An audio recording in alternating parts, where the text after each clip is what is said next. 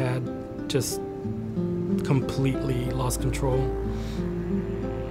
I ended up uh, living basically in a tunnel that runs under Canal Street. He that is forgiven much is thankful much. Have you really been forgiven much?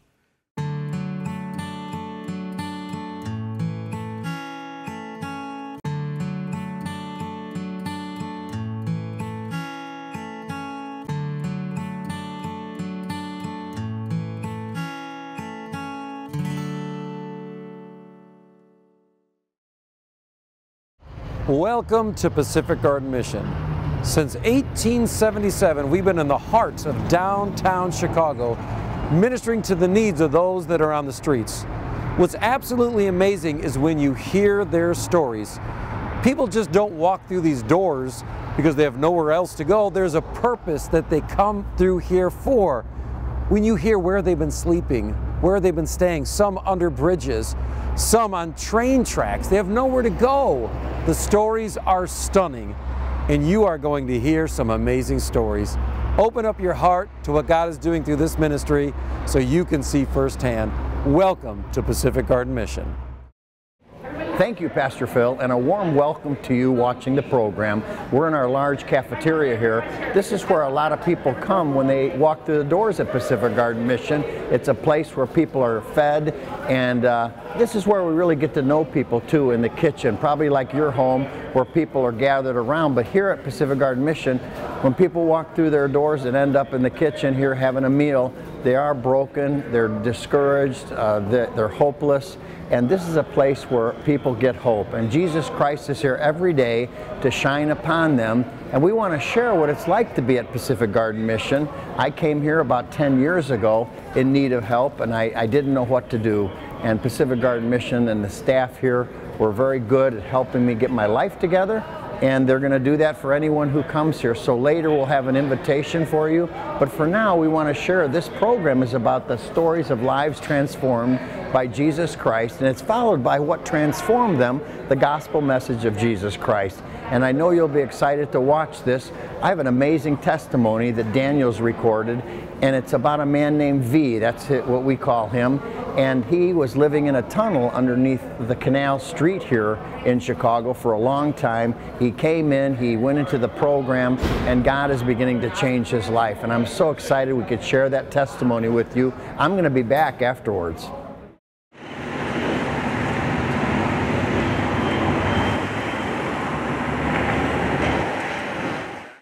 I got married young at the age of 18. I had two kids, which turned out later on they weren't my biological kids. My first wife, because I've been married twice, she uh, decided to leave, uh, moved to California, took the kids uh, without telling me.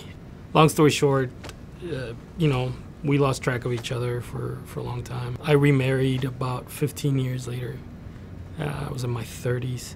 And um, we were married for about a year and a half before we had a son everything seemed to be perfect. You know, I mean, everybody thought we were the perfect couple. Beautiful wife, beautiful son, uh, perfect place to live. But underneath, uh, she she had a miscarriage, and that led to her drinking a lot. So it went from that to me having to watch over her because she was drinking too much. She lost her job. One thing led to another. I started drinking heavily. Uh, then I lost my job at the Field Museum. I worked there for about 10 years. We both lost our jobs, so we went through the savings to pay the rent, pay the bills. I couldn't find anything else for the life of me, and uh, we ended up uh, being evicted, and my son went to her sister's home. So uh, that, was, that was probably the best place for him to be anyway. We decided to go to rehab, so we ended up at Haymarket uh, we were there for the 30 plus days, and then they placed us at Safe Haven, at A Safe Haven down the street. I lasted for about 14 months or so. She only lasted for about six or seven. She relapsed, um, started drinking again. Uh, we lost, kind of lost track of each other at that point, and I ended up uh, relapsing too. Within two weeks of us just splitting up, and um, I ended up out in the streets again, uh, on and off. Towards the end of that, just I ended up sleeping by the lake uh, when it was still warm, and that was because I knew the museum campus, because that's where I worked.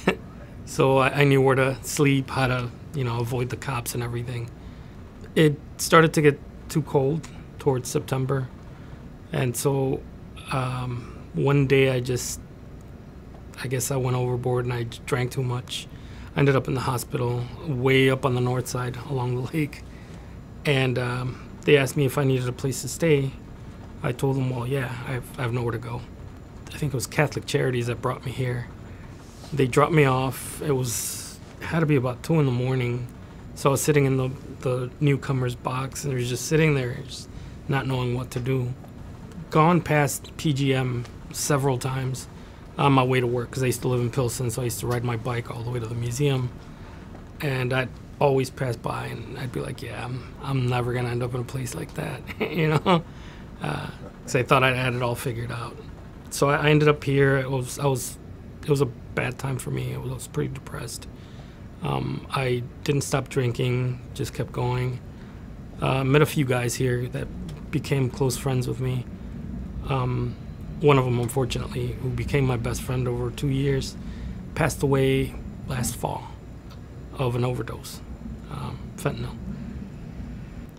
Recently, well, as recently as last year anyway, before I joined the New Day program, I had just completely lost control I ended up uh, living basically in a tunnel that runs under Canal Street. I used to tell guys, you know, it's like being stuck in purgatory. I guess I don't know. You don't know which way to go. There was one guy that used to stay down there too, another homeless guy, but not a lot of people like to venture down there because it's not it's not pitch black, but there's not a lot of lighting and it's all there's about a layer of dust about that thick on the ground um, yeah, it's like walking on the moon. You step on it, and there's like a little cloud of dust. It just we literally used to sleep up against the fence. Unfortunately, there's I mean there's trash down there from like the 90s, and with that trash, you'd find syringes and you know all kinds of other still crack pipes, things like that. As crazy as it sounds, it was it was a really dark time for me, and I I just um, I felt like I was at my at the end of my rope just I couldn't take it anymore. Um, I was basically drinking myself to death down there. Uh, just waking up just to go out and get more more alcohol.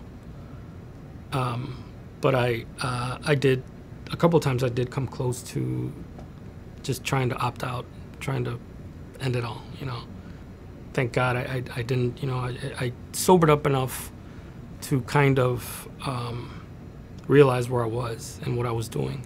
You go down there and you forget about the world. The world forgets about you, and you, it's just it's you're just down there, literally. And it's that, that actually brings back something I told Philemon because he um, he asked me how I was feeling about you know being here, about staying here, whatever. And um, I told him you know gradually I've I've come to accept the reality that I was living and how I am now. Um, but at one point, uh, I think I used to I used to tell people all the time, "Oh, where do you live?" "Oh, PGM." "Oh, how's how's it living there?" I'm like, "Well, you're not really living there. You're just kind of waiting to die. You're just existing." Yeah. And I, I walked out of that tunnel, and until it just everything was buzzing in my head, and until I reached the uh, very entrance of the tunnel, I stepped out into the sunlight and just went quiet.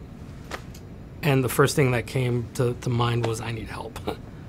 I need help. So I basically ran back over here, which is, it's not that far. It's about four or five blocks. So I ran back over here, spoke to the, the, the head of uh, the offices over on the overnight side, and um, I told him, I said, you know, I need help. I seriously need help. Um, Pastor Phil was right there, actually.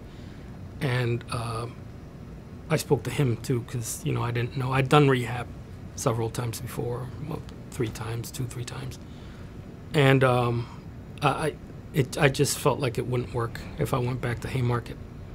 I asked them if there was anything else that they would recommend. Um, they first at first we were looking at other places for me to go to, to, to do rehab and stuff, but I told them I needed something something more. You know, I needed something. I don't know, spiritual. I said. That's when they recommended the program, and I, I was reluctant. I mean, I'd I'd heard so many things over the last you know two years before that. Um, not all good, but you know, I, I figured, what's it gonna hurt, you know? So I, I joined the program, and I was I was pretty, I was pretty much a, a nervous wreck for the first two to three weeks. I, I just I was going through withdrawals and, and not not comfortable in my own skin. Um, wasn't really talking to anybody. Uh, I just kept to myself. I was isolating myself. Two or three guys started talking to me like, you know, come on, you know, you gotta you gotta kind of try a little harder because you know it's not gonna work if you don't do something about it. And so I did. I, I started. Um, I opened up my heart, I guess, to to Jesus, which I had not really ever done that before. Um, it was, to say the least, it was an eye-opening experience because uh, it it didn't pretty much save my life. It actually did save my life. I, I keep telling uh, Philemon, uh, you know, that I, my my way of thinking nowadays is His will be done. Because if it wasn't for for Him and for everything that everyone here at PGM, from my counselors to my coworkers to uh, other program participants, uh, if it wasn't for a combination of everything, I, I don't think I'd be here. I'd either still be out there or I, I'd probably be dead. Yeah. So uh, I think I, I need to fix myself before I try to fix anything else. Yeah. And um, and that's that's what that's what the program has basically helped me do was uh, repair most of the damage that I that I did to myself and my life, you know, the people around me to stick around. And for about two months, because the program's three months long, for about two months I didn't want to go out by myself. Uh, my counselor would ask me, you know, like, uh, your meds are waiting at Jewel or whatever. And I'd be like, nah, like, uh, you, you can get them for me. But that was because I was still afraid of, of relapsing because, you know, there's liquor right there. And as soon as you go in the entrance, it's like to your right. And that's it's the first thing you see. So um, finally, I, I, broke through that, and um, I started going out there by myself, and you know, getting my medication, taking a little walk here and there. And uh, before long, I was, you know, almost done with the program. So they they asked me, they're like, "Well, would you would you like to go back to the overnight side, or do you have a place to go, or would you like to join the New Life program?" So I said, "Yeah." yeah, you know, I, I figured I'd keep going, and I did. So um, it's it's done wonders for me because I used to look at everything in a negative light, and it was all darkness for me. You know, it's like everything I did, um, there was always a, a, but at the end of the, you know, every sentence for me. But you know, I, I, I don't know, or you know, what if but um, I pretty much put my myself, you know, my my life in God's hands, and um, I'm I'm hopeful. I'm very hopeful that um, anything and everything that happens to me now is in His hands. I hope you enjoyed the testimony you just watched, knowing that there's hundreds of testimonies like that here at Pacific Garden Mission, and know that help is here. If you need help, could you call the number on your screen or come through the doors here at Pacific Garden Mission, meet with a counselor, and find out what God has for you here. It's an amazing place, and I believe God is waiting for those of you who need help and want to come through our doors. And if you're in the Chicago area and you want to come and see what God is doing here at Pacific Garden Mission, every Saturday we have a wonderful destination experience. It starts with a tour of this amazing building. Uh, it's more than the building, though. It's the people you're going to meet on the tour, people that have been through the programs, people in the programs, people who have graduated and are on staff. 62% of our staff are people that came through these doors. I'm one of them. And it's a blessing to be here and come and see what God is doing. I know you'll be changed and you'll have some stories to tell after our tour. And then, speaking of stories, we're going to take you to the Unshackled award winning radio drama, which is acted out live here every Saturday. You'll be amazed when you sit in the audience and watch real actors acting out a story of a life transformed by Jesus Christ. Uh, there was tears in the audience and laughter, and you will have some stories to tell when you leave the Unshackled award winning radio program. Then we'll bring you down to this beautiful kitchen I'm sitting in. It holds about 700 people, and you'll be able to have a family style meal with friends and uh, relatives, whoever you bring. Uh, we'll have a meal together, and then we're going to go to the praise and testimony service, and that's what gave birth to this television program. Is the praise and testimony service where our president, Pastor Phil Kwiatkowski, will bring a gospel message to you. Afterwards, we'll have meet and greet with the president. It's a three-hour time slot to come here on a Saturday and see what God is doing, and I know you won't be disappointed. You will have stories to tell, and if you come back, you might want to come back and volunteer. We have uh, things you can do here, many things you can do here. One of them is making beds upstairs in our large dormitory area. You can help us in the laundry room.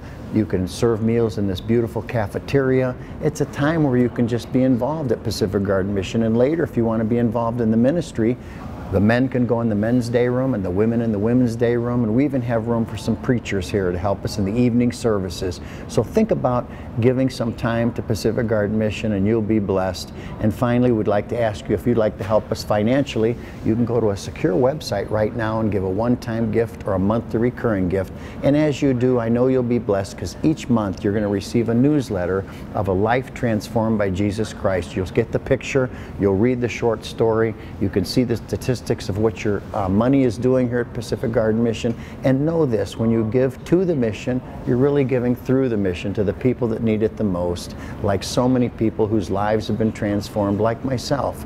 And it's a blessing to do that. So go to the secure website right now and give that one time gift and get your newsletter coming in the mail and uh, you'll be blessed as you do.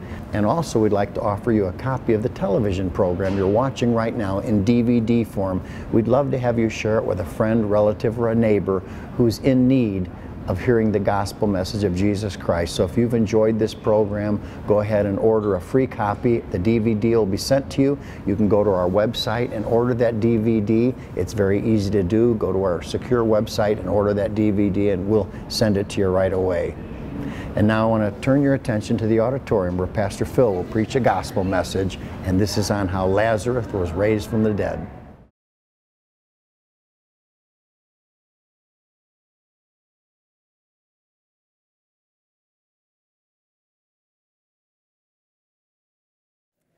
Last week we saw what I believe was one of the most amazing and public of miracles that Jesus Christ ever did, and that was the raising of Lazarus from the dead.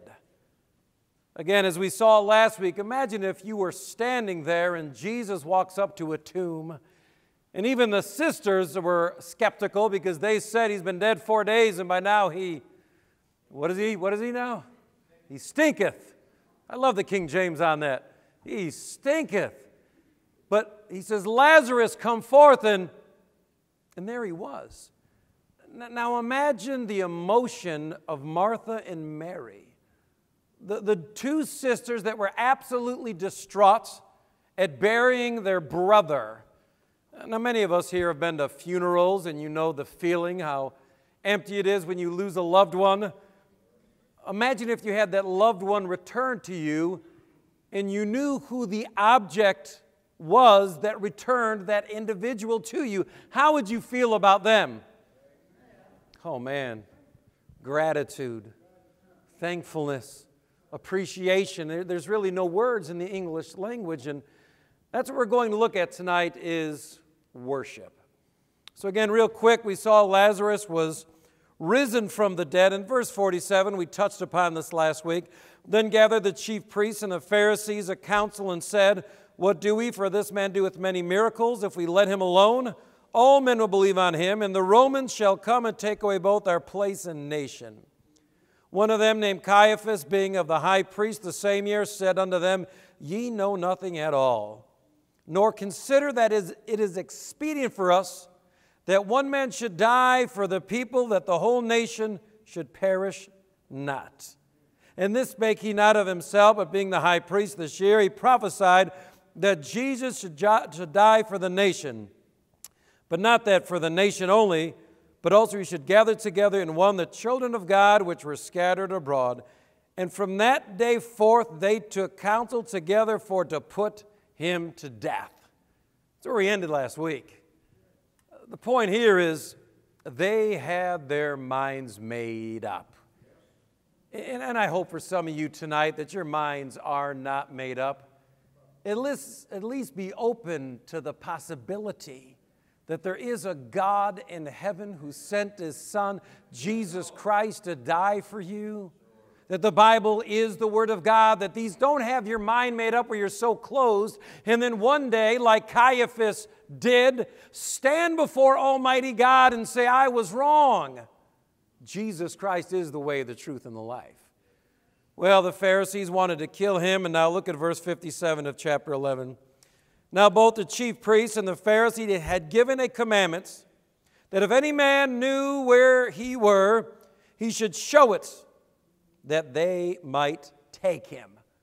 Later on, that's where Judas came into play because they paid him. They were looking where this guy is. But now we look at chapter 12, and we're going to look at this topic again, as I said a few moments ago. How do you think Mary and Martha felt? Their brother, who was dead, they were mourning. He was gone. Four days they had the funeral. The, the mourners came out. And now he's alive again. Look at chapter 12, verse 1. Then Jesus, six days before the Passover, came to Bethany, where Lazarus was, which had been dead, whom he had raised from the dead. There they made him a supper, and Martha served, but Lazarus was one of them that sat at the table with him. They're sitting there having a meal. Mary, Martha, Lazarus. Again, how do you think the sisters felt? Gratitude, appreciation, thanksgiving. What is worship? I think in our contemporary society, we have really lost the true meaning of what worship is. Unfortunately, we'll hear this in, in American Christianity let us go to church and get our worship on, right? Let's go to a place and worship there. And unfortunately, what worship has become, it's become a show. It's become entertainment. I remember once I was visiting a church and this guy came out on his guitar and and if you're from Chicago in the 70s, remember Loop radio station was the hard rock radio station. He had a loop shirt on, long hair, and he was cranking on that thing and he was playing, but it was a show. There wasn't any worshiping going on, but of him maybe. But, but what has happened to us as a church? And, and I want to tell you tonight, worship is not a place we go to. I, I think of the, the discussion that Jesus Christ had with the Samaritan woman. She said in John 4 20, Our fathers worshiped in this mountain. And ye say that in Jerusalem is the place where men ought to worship. Is it Jerusalem? Is it here, Mount Gerizim? Where is the place? Is it the Baptist church? No, it's this church over here. Is it the Presbyterian? Is it the Methodist? Is it the Church of God in Christ? Well, it's the Pentecostal. They really got it going on. And when I get up this morning, I'm going to go to this place of worship. That was her argument. Jesus saith unto her, Woman, believe me, the hour cometh when ye shall neither in this mountain nor yet at Jerusalem worship the Father. It's not about a place. Ye worship ye not know what? We know what we worship, for salvation is of the Jews. But the hour cometh, and now is, when true worshipers shall worship the Father in spirits and in truth. For the Father seeketh such to worship him. God is spirit, and they that worship him must worship him in spirit and in what? True worship has to have semblance of the truth. If you just get into raw emotionalism and a person get, can't get up and say anything, I, I did this years ago and maybe it was mean. It was at the old mission. We had a guy downstairs, our classroom was downstairs, and uh, I'd, you'd get up there to, to teach. And no matter what you would say, this guy would say, Amen, Amen, Amen, and he, Amen. And, and, and I said, I don't know if he even knows what we're saying. So one day, on purpose, I got up there and said heresy. I say, the Bible's not the Word of God. Amen. It's not true. Amen. I said, what's that? do you know what you're just saying amen to? You cannot not only worship in spirit, but in what? It's a response to what I know to be true.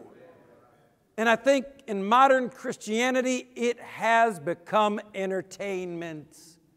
And these ladies here that were appreciative that their brother was risen from the dead.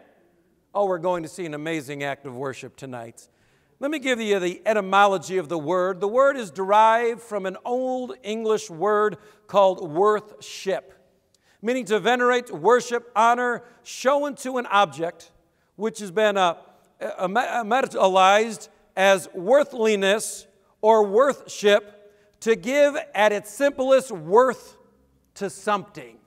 So, worship is me giving worth to something. Now, if I have been saved by Almighty God, and I know what I've done, I think of the one story in Luke chapter 7 where Jesus asked the question about two debtor, debtors and a lady that came and anointed Jesus and all this stuff. He said, He that is forgiven much is thankful much, right? Why was she so uh, worshipful or so enthusiastic? Because she was forgiven. And when you realize where some of us were and some of the things that some of us have done, some of the places we've been, and the fact that we have come to faith in the living God and He has forgiven us, that causes me to ascribe worth to my Creator. And I worship Him. I ascribe worth because of, because of what He's done. I was reading a story. First responders were reunited Wednesday with a toddler they saved from almost drowning. A Juan Vega was giving her children a bath one night when her son Juan went under the surface of the water. The boy's father, uh, Jorge, started CPR, and the paramedics were able to stabilize him after they arrived on scene. He was taken to the hospital Wednesday, and the family thanked the paramedics in person for saving their son. Now, why, were, why was the family so enthusiastic to thank those paramedics? Why? They saved their son. Do you think it was boring? Do you think they would be there when let's go meet the paramedics and they'd yawn? They'd sleep? No, they were enthusiastic. Those guys saved my children. I want to thank you.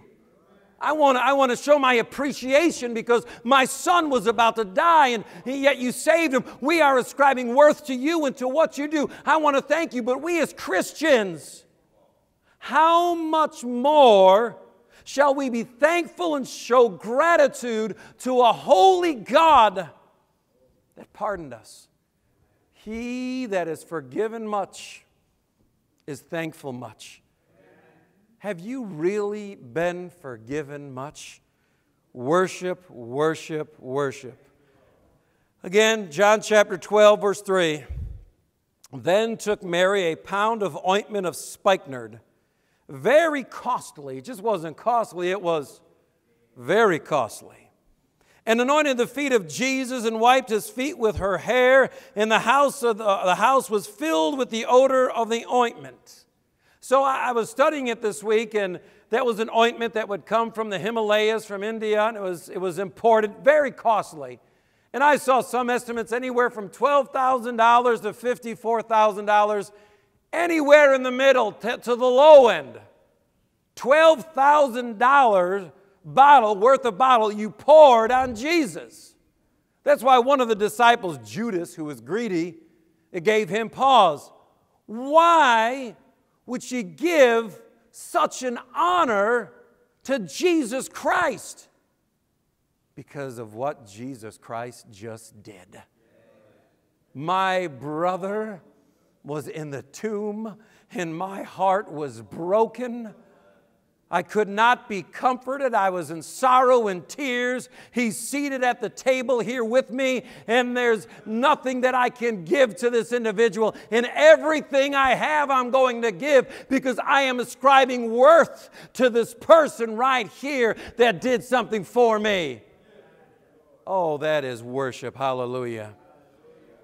Three quick words tonight when I think of worship gratitude, sacrificial, and acceptable. Gratitude. You know, gratitude always has an object. I mean, sometimes we just feel happy. Sometimes I just don't feel gratitude. I'm gratitude when there's something to be thankful about, right?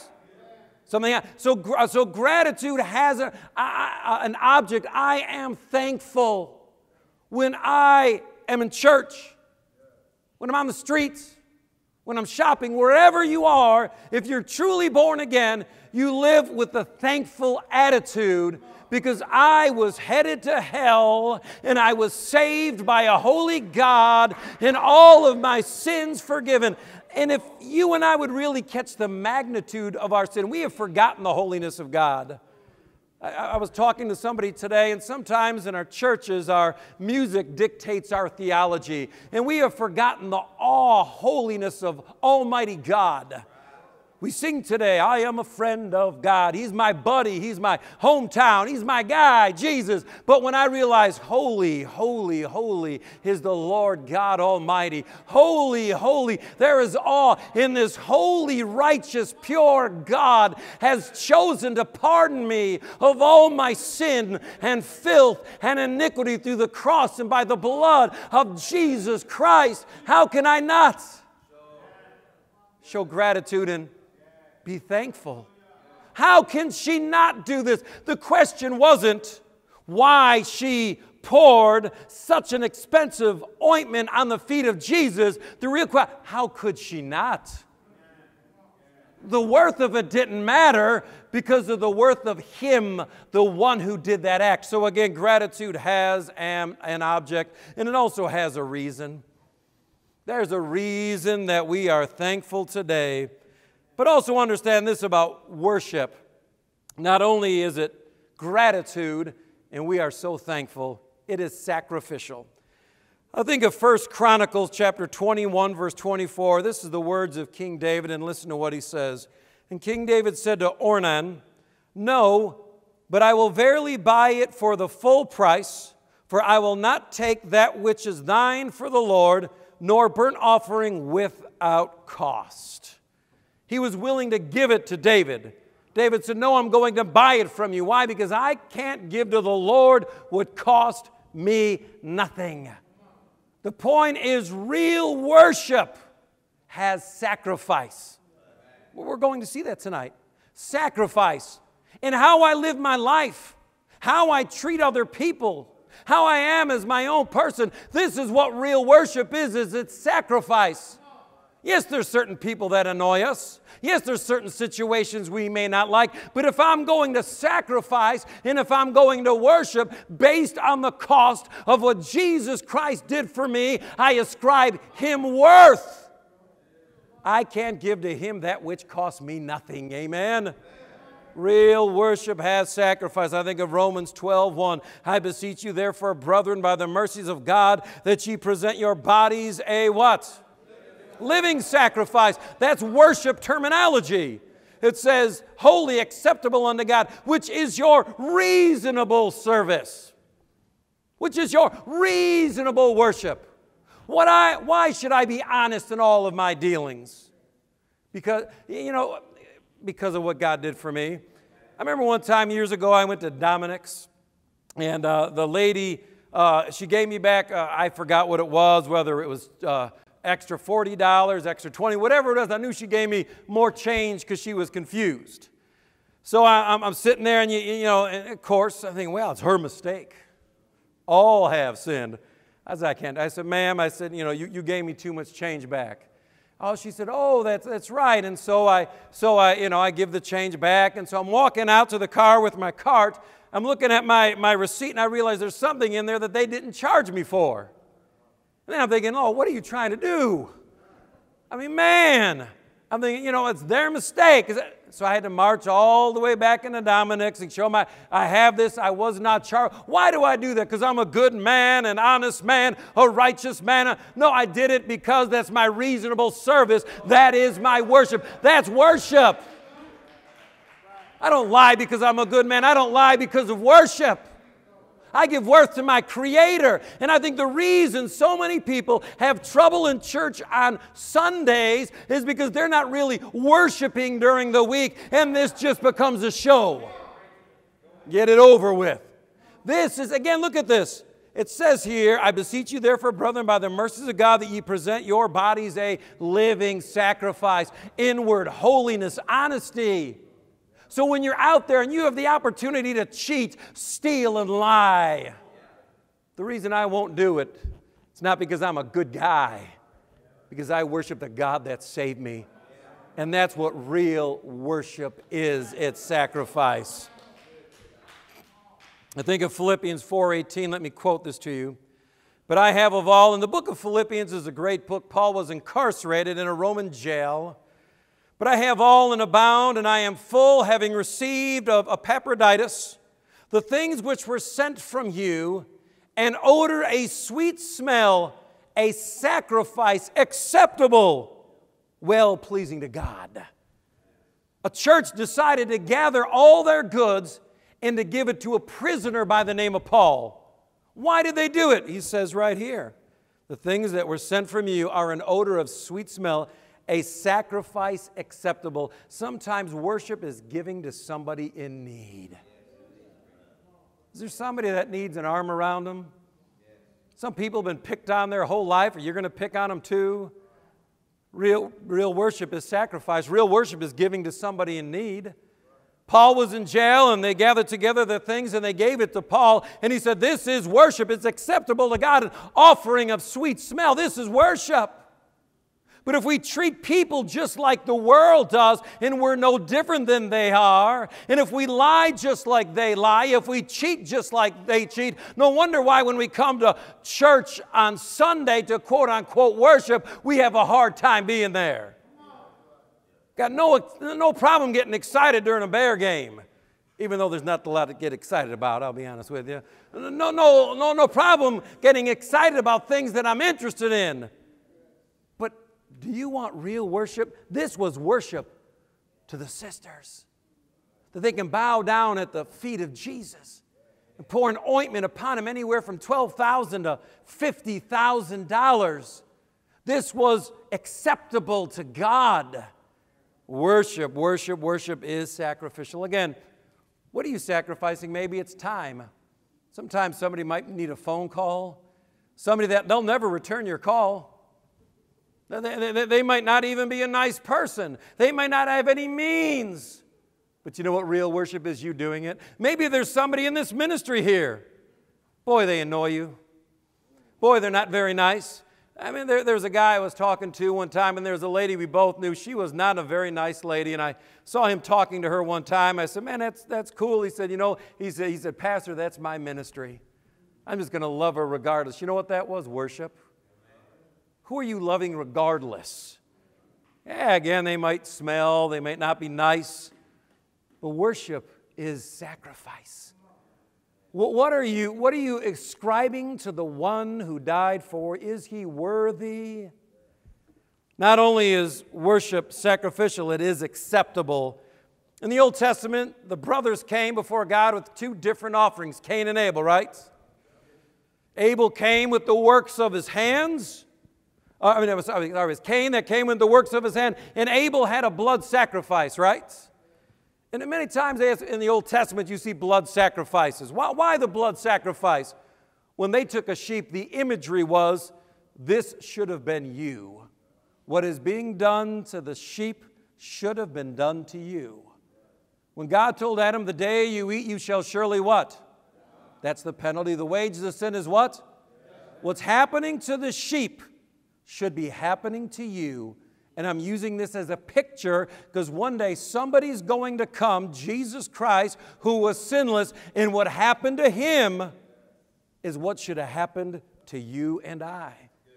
So, so Abel knew to give to God a, an, a blood sacrifice.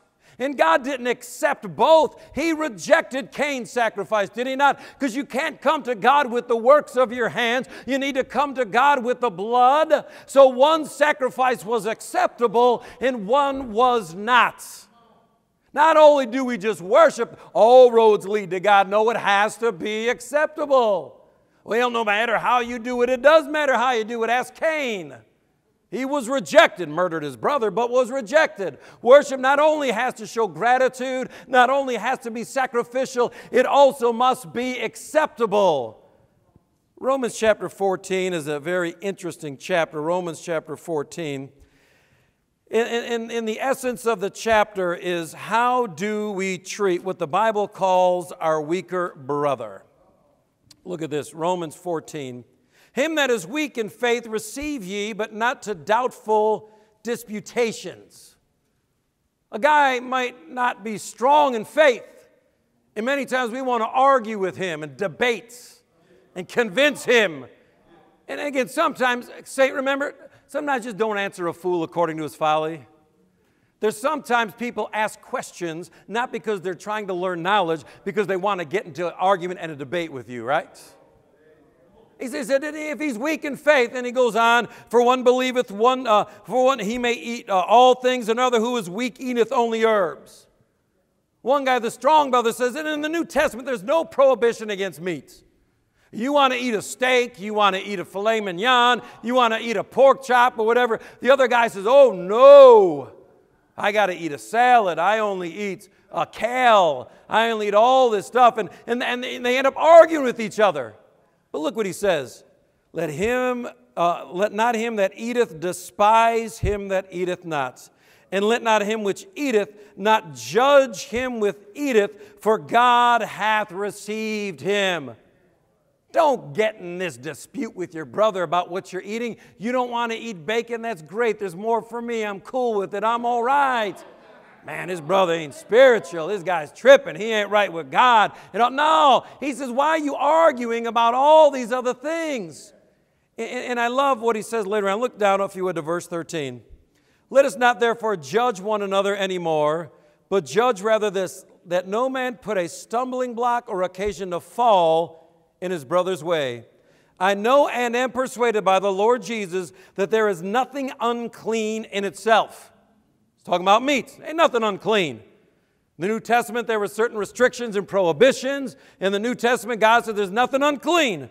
But to him that esteemeth anything to be unclean, to him what? It's unclean. If he says it's unclean, cool. I'm not going to argue with you. But look down all the way, if you would, in verse 18. For he that in these things, what things? Treats his brother with respect, properly. He that in these things, look at this here, uh, serveth God and is what? Acceptable to God. You want to worship? How do you treat your brother? You want to worship?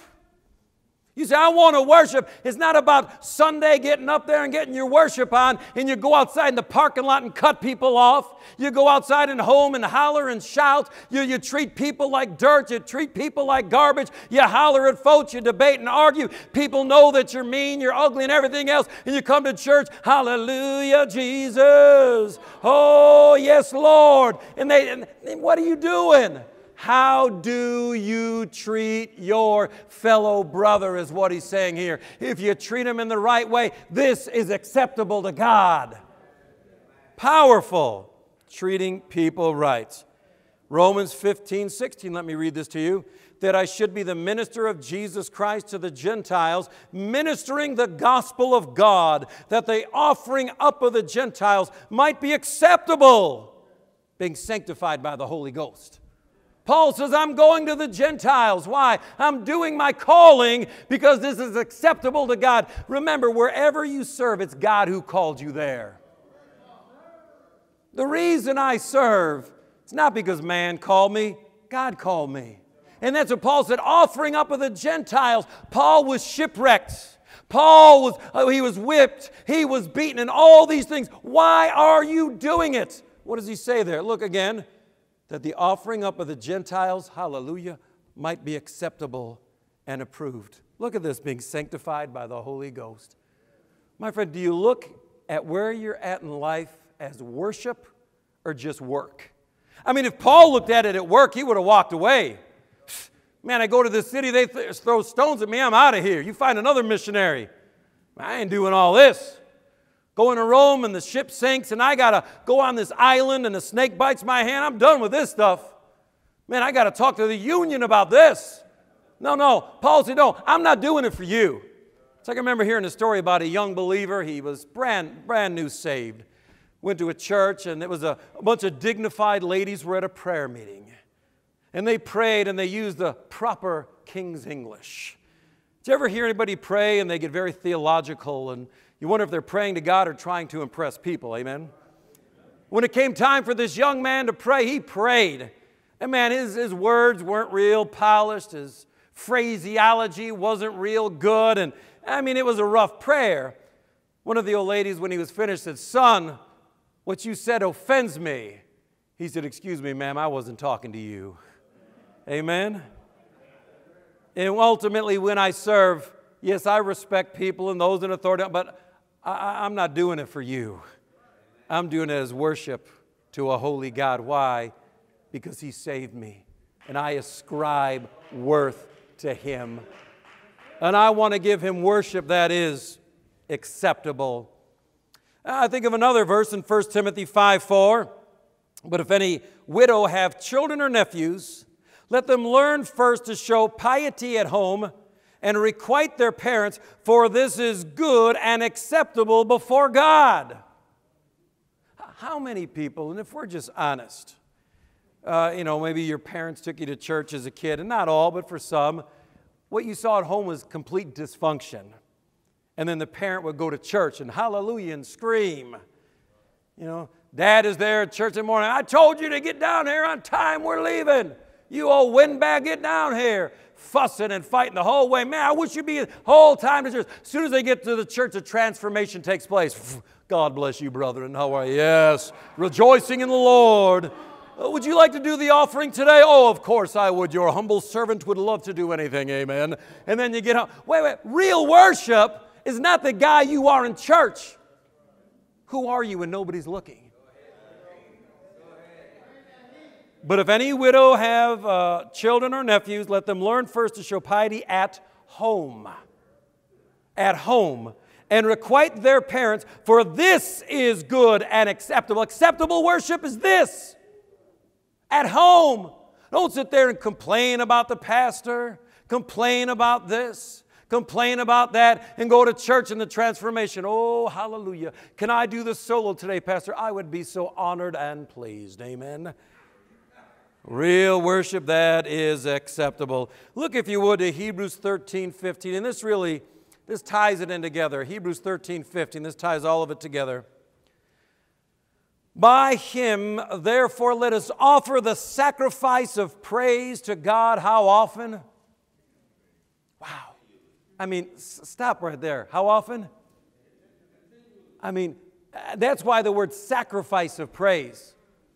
Because sometimes I don't want to do continually. I don't want to do it when things don't go my way. I don't want to do it when I'm not happy. I don't want to do it when there's a situation I don't like, but it's a sacrifice to say, God, no matter my circumstance, I'm going to hallelujah. I don't you love it when when Paul was in prison, he was singing hymns to God. Can you imagine that? When Peter was in jail, he fell asleep, but when Paul was in prison in the book of Acts, can you imagine? Amazing grace, how sweet the sound that saved a wretch like. Can you imagine that? Man, you're in jail. You're going to face the magistrate tomorrow. You could lose your head. You could lose everything. Oh, amazing grace, how sweet the sound. Hey, I've gone to the doctor and I have a bad note from the doctor. Things aren't going well with my parents or my kids fiscally. Oh, amazing grace, how sweet. The... And that's what he says. By him, therefore, let us offer the sacrifice a sacrifice. Don't just praise when it's going your way. Hey, you got to raise. Hallelujah. Glory to God. No. How about when you get laid off? How about when things don't go your way? How come when you're, when you're around people you don't like being around? How come in all these things, then offer the sacrifice of praise to God? How often? What does it say? How often? Continually. And, and look what he says that is the fruit of our lips giving thanks to his name. He defines it for us. Again, you want to offer sacrifice to God, you want to offer worship right here. That's why, again, the American church is so weak.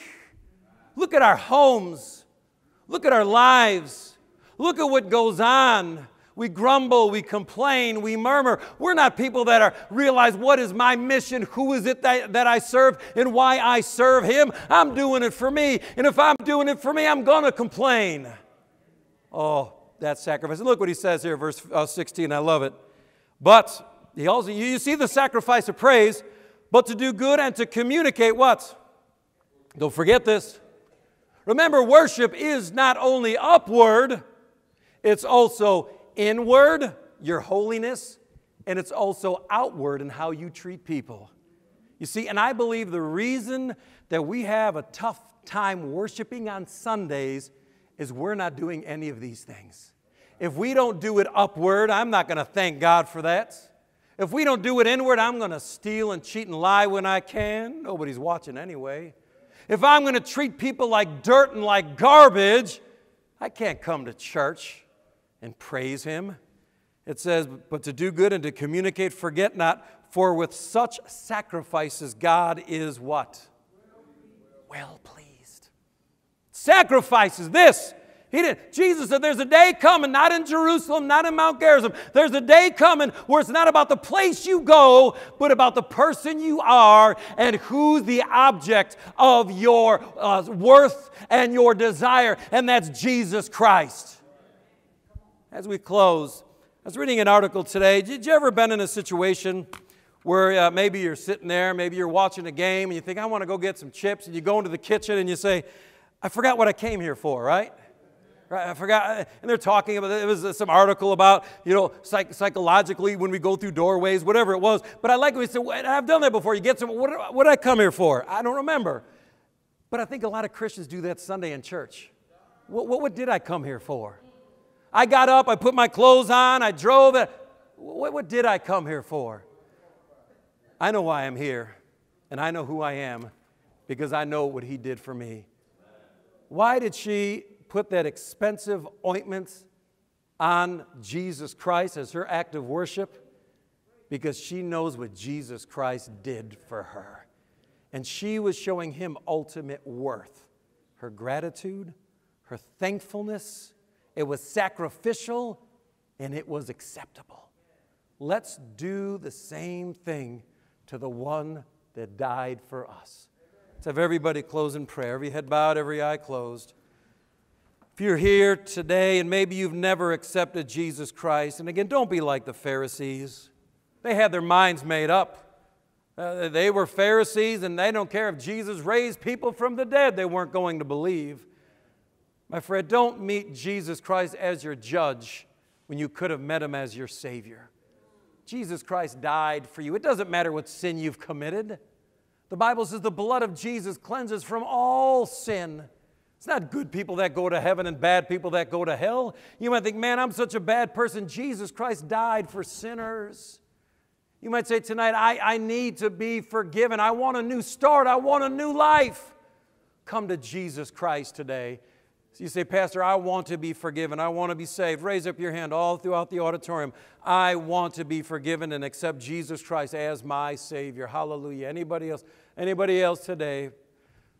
Those that have raised their hands, I want you to pray with me in the quietness of your heart. You don't have to pray out loud. And I'm going to pray what's called a sinner's prayer. And remember, the words don't save you, it's not magical. What saves you is Jesus. And I'm giving you a model prayer that if you cry out to Almighty God with repentance and faith, God will save you tonight. But pray something simple. Say, Dear God, I know I'm a sinner, and tonight I come to you. I believe Jesus Christ died for my sins, was buried, and rose again. I accept Him as my Savior. Forgive me in Jesus' name. Amen, amen, and amen. Well, I pray that you were encouraged by those testimonies and challenged by the word. And as we close, I don't want to close by having you purchase anything. I want to close by challenging you. What, a, what an amazing story about uh, worship. Mary coming to Jesus and Martha and Lazarus and that whole situation coming before God. And they were so grateful because of what Jesus Christ had done for them. What has He done for you? You see, the Bible says, For what shall it profit a man if he shall gain the whole world and lose his own soul? There is a lot of uncertainty in this world. We hear of war, you hear of inflation, you hear of all the things going on in our city streets and riots and everything happening. There's a lot of uncertainty. And so, what some of us do is we try to accumulate more. I need to invest more. I need to buy this more. And, but what shall it profit if a man shall gain the whole world and lose his soul? The most precious commodity that you possess is your soul. My friend, if you die, where will you spend eternity? Simply put, Jesus Christ died for your sin. Why? We've all sinned. The wages of sin is death. The word wages is a payment. If you worked a job and you said at the end of a week and they told you your wage is $1,000, at the end of the week, what would you expect? Well, $1,000. Why? That's my wage. A wage is an expectation. What's the wages of sin? Death. And the second death is the lake of fire. What do you mean sin? Any sin. Well, if the wages of sin is death and we've all sinned, are we all in trouble? The Bible says the gift of God is eternal life. Salvation is nothing to be earned, it's a gift. And what you need to do is receive that gift by faith. Jesus Christ. Why don't you do that today? What shall it profit a man if he shall gain the whole world and lose his soul? The most precious commodity you have. Why don't you make certain today that you know Jesus Christ? Bow with me if you would. Pray a simple prayer. Cry out to God. Say, Dear God, I know I'm a sinner, but today I accept the gift of eternal life. I believe Jesus Christ died for my sin, was buried, and rose again. Forgive me in Jesus' name.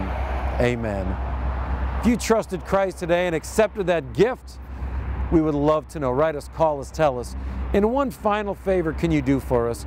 Can you please contact the stations that is broadcasting this program, letting them know the blessing Pacific Garden Mission is to you? And you might say, well, why? Because these stations are good to us. And they need to know that somebody's watching.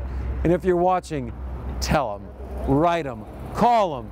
PGM TV has been a blessing. But God bless you. Thank you for watching.